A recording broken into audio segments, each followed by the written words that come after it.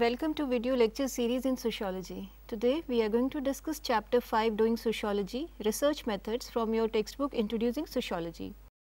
Now as you know for understanding we have divided this chapter into 8 parts. So far in this lectures we have discussed about what is research, how do we choose a topic for research, what is objectivity and subjectivity and what are aims of research. We have also discussed about various types of research designs and about historical method and case studies. Now today in the journey of research methodology and research methods, we will talk about various types of data that is quantitative and qualitative data, primary and secondary data and what are mixed methods. Now let us begin understanding what various types of methods mean.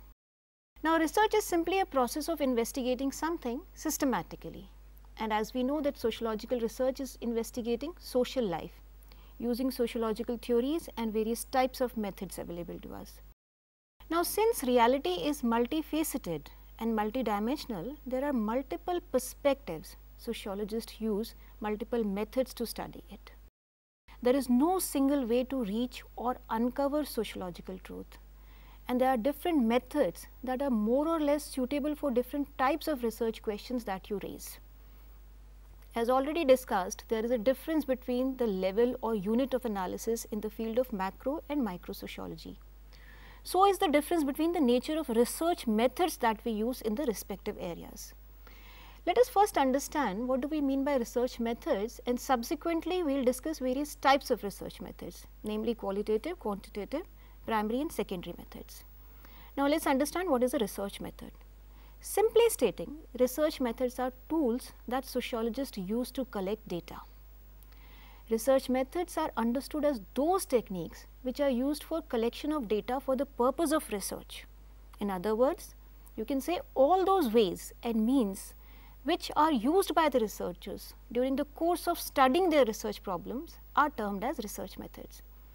In short, it can be said that research methods help in collection of data with an aim of finding solutions to the research problems or questions raised by the researcher. Sociological research is about getting into society and exploring it in number of practical ways. These practical ways are called as research methods that help sociologists to collect data. What is data?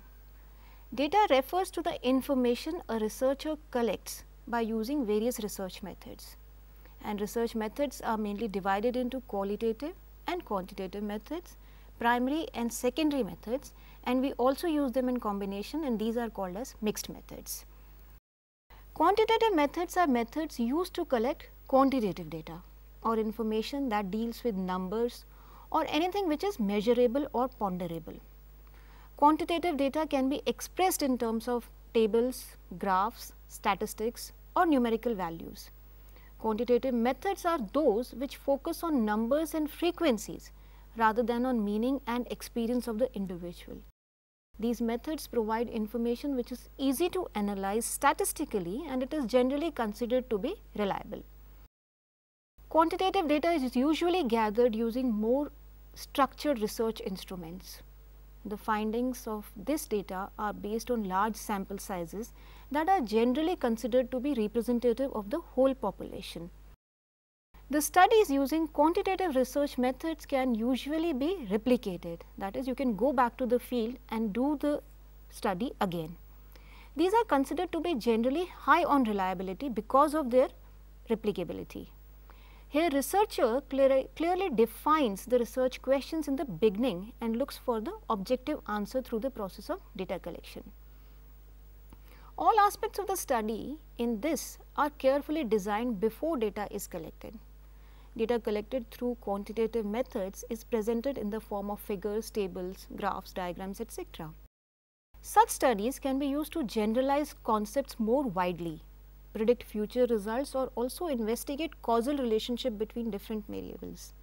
It is a method of inquiry used in many different academic disciplines and particularly in economics in social sciences. Qualitative method are ways of collecting data as against the quantitative methods that deals with understanding and describing meanings rather than drawing statistical inferences. These methods that is qualitative methods provide a more in-depth understanding, explanation and rich descriptions of reality. Qualitative method aims to gather an in-depth understanding of human behavior and reasons that govern such behavior. Here the researcher investigates the answer of why and how things happen, not just what, where and when it happened. Hence, the study is done on a small sample rather than a large sample as in the quantitative study. Now, let us compare quantitative and qualitative data on the basis of certain criteria that we are going to take into account. Now, first if we take general framework into account, then quantitative methods seek to confirm a hypothesis about a phenomena. There is a rigid style of gathering information and categorization of responses to the questions. Quantitative methods are highly structured and research designs like survey and quantitative methods like questionnaire and structured observations are used. Qualitative methods on the other hand, if we talk about general framework, seek to explore a phenomena. It is flexible iterative style which means going backward and forth of gathering and categorizing responses of questions.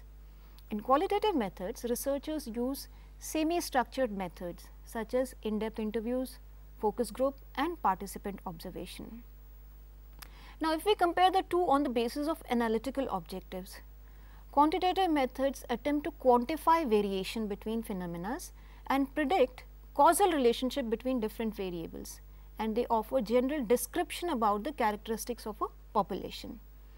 On the other hand, qualitative methods attempt to explain relationship and explore the relationship between different variables. It attempts to account for individual experiences, understand meanings and describe group norms and how meanings emerge in specific contexts. If we compare the two on the basis of questioning format, then in quantitative methods, the questioning format is fixed, inflexible and rigid, having many closed-ended questions, whereas in qualitative question format is flexible and open-ended. If we take the flexibility of research design into account, then there is a difference between qualitative and quantitative methods. Now, as you know, we have already discussed what is a research design. Simply stating research design is a way a research is planned and organized. It is a blueprint of research. The studies using quantitative research designs are generally fixed in structure right from the beginning of the research. The response of the participants does not influence or determine how and what questions the researcher is going to ask next in the process of research. The design of research is subject to statistical assumptions and conditions. In qualitative studies, some aspects of study are flexible for example, there can be an addition, deletion, restructuring, rewording of questions being asked during the process of interview. In fact, much of the process of data collection here is guided by the response of the participants. Study design is flexible, that is data collection and research questions are adjusted according to what is the need in the process of exploration of the research phenomena. Now, data in quantitative research exist in the form of numbers there are numerical values assigned to the responses. The data is collected on the pre-coded categories. For example, on an opinion survey on a particular thing, there can be 1 to 4 numerical value given to responses like you agree then you say 4, you somewhat agree then you assign 3, you somewhat disagree then you say 2 and if you disagree completely then 1. So, there are numerical values assigned to the responses. In qualitative methods, the data is obtained in textual form. It is collected in the form of field notes or recorded in audio or visual form. However, it is not necessary that a research has to remain purely qualitative or quantitative. When researchers use a combination of both qualitative and quantitative methods, it is called as mixed methods. Now, mixed method research integrates qualitative and quantitative techniques of data collection and analysis mixed method research strategy employs more than one type of research method. It uses different or multiple ways of looking at the research problem. It is, it is used to produce general as well as specific explanations of a phenomena. Now, another way of classifying methods is to distinguish between primary and secondary research methods. The methods that rely on secondary or already existing data in the form of documents, historical records or artifacts are secondary research methods. Whereas in primary research methods, data is collected or generated by the researcher himself by using various methods of data collection. While using primary research methods, sociologists try to find about the social world by asking people questions. Now, how do they ask people questions? They can simply ask people questions by filling up the questionnaires. They can do it by filling a schedule. Now, there is a minor difference between a questionnaire and a schedule. What is that difference? A questionnaire is a situation when the respondent is responding and the questionnaire is being filled by the respondent himself. Whereas a schedule is when the respondent is responding, the researcher fills the questionnaire himself. That is a minor difference between a schedule and a questionnaire. Interviews over telephone or on internet that is video conferencing or conducting formal face to face interviews is also a way researchers ask questions to people. They can also ask questions informally in the context of the field work. Now, sociological research also involves the analysis of secondary data. Secondary data as you know is not generated by the researcher. It includes data that is already existing or is collected by other researchers. Secondary sources include data from previous research which is already done. It may be material that is not specifically produced for research in hand, but that has important implication for the current research. Official statistics, historical records, archives and documents are some of the important sources of secondary data. At times, use of concepts like data, method and source can be a bit confusing for you. Qualitative or quantitative method and data primary and secondary data and sources. You should be aware that there are fine lines of differences between these concepts. The data that sociologists collect for research can be primary and quantitative, primary and qualitative. It can also be secondary and qualitative and secondary and quantitative. Let us understand these various categories through an illustration to understand it simply. Now look at this graph. On x axis we have secondary sources and on y axis we have quantitative data. On x dash that is on left hand side we have primary and on y dash we have qualitative. Now let us fill these four quadrants and see what kind of method and data is there within each category. Now let us go anti-clockwise. If we say that we are talking about quantitative data that is secondary in nature, then what methods we are using here is one is official statistics and census. If we talk about quantitative data that is primary in nature which is now y and x dash, these are structured interviews, questionnaires and schedules help us to collect this type of data. If we talk about primary and qualitative data, then we have unstructured interviews and participant observation as methods of data collection. And finally, if we talk of qualitative and secondary data, it exists in the form of diaries, archives, historical records and autobiographies. The choice of methods is dependent upon or is guided by certain factors in sociological research. What are these factors? The first important factor is nature of topic under investigation or being studied. The second factor in consideration is theoretical preferences of the researcher. The third factor is availability of resources like time and money at the disposal of the researcher. And fourth is already existing work in the field. Now, despite classification between types of methods as we have discussed just now, there is an overlap while using methods of data collection. Methods are often used in combination of different types.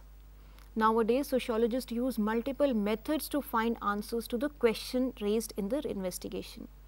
It means the same research is analyzed from different vantage points. This process is called as triangulation. Triangulation as a process helps in eliminating the disadvantages of a particular method by employing another method in the same situation.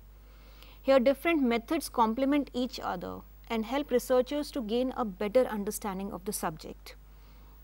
Because of the distinctive character of sociology, researchers mostly use primary methods where they collect data or first hand information during the fieldwork that they conduct themselves. We will discuss about advantages and disadvantages of various methods used by sociologists in the subsequent part of this chapter. To conclude, let us summarize what we discussed in this lecture. We discussed the difference between qualitative and quantitative methods of data collection, what are mixed methods. We discussed the difference between primary and secondary data and we also discussed the combination of primary, secondary, qualitative and quantitative methods and about triangulation briefly which we will take up later in the other lectures. In the next part of this chapter, we will try to talk about variety of research methods, their advantages and disadvantages in detail. Till then you can enjoy reading this part of the chapter. Thank you.